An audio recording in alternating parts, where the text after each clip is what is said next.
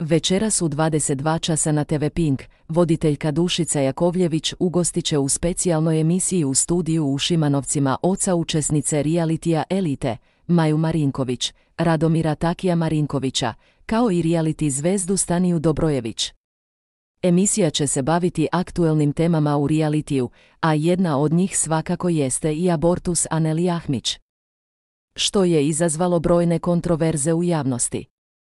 Aneli je juče izashala iz realitija kako bi abortirala dete Marka Janjuševića Janjuša, a Maja joj je nakon povratka pružila podršku, Radomir Taki Marinković, otac učesnice realitija Elite, Maje Marinković, pridružit će se voditeljki Dušici Jakovljević večeras u emisiji kako bi govorio o svojoj podršci čerki tokom njenog učešća u realitiju.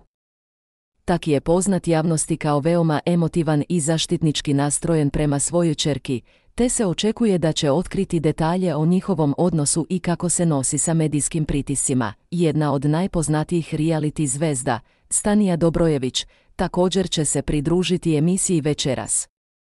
Stanija je stekla veliku popularnost u javnosti svojim učešćem u prethodnim sezonama realitija, te će gledaoci imati priliku da čuju njen osvrt na aktuelna dešavanja u reality svetu i njeno mišljenje o temama koje su koje su trenutno aktuelne.